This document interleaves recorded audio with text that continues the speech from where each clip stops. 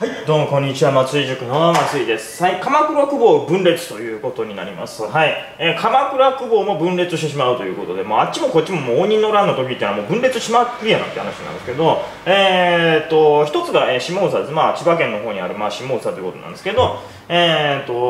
下総だってるな。はい、えー、と、古賀久保ですね。はい、古賀久保。これね、古川久保と呼んじゃうんで、ね、注意してください。はい、たまにやらかしてるかもしれません。はい、古賀久保というふうなと、堀越久保ですね。はい、えー、伊豆にある、要するに、堀越久保っていうんで、まあ、こういうふうにまあ分裂しちゃいますよということですつまり世の中全体が要するにどんどんどんどん分裂してしまいますよともう要はややこしい時代に入ってしまいましたよということになるわけですねよろしいでしょうかそれでは本日もご視聴いただきまして誠にありがとうございます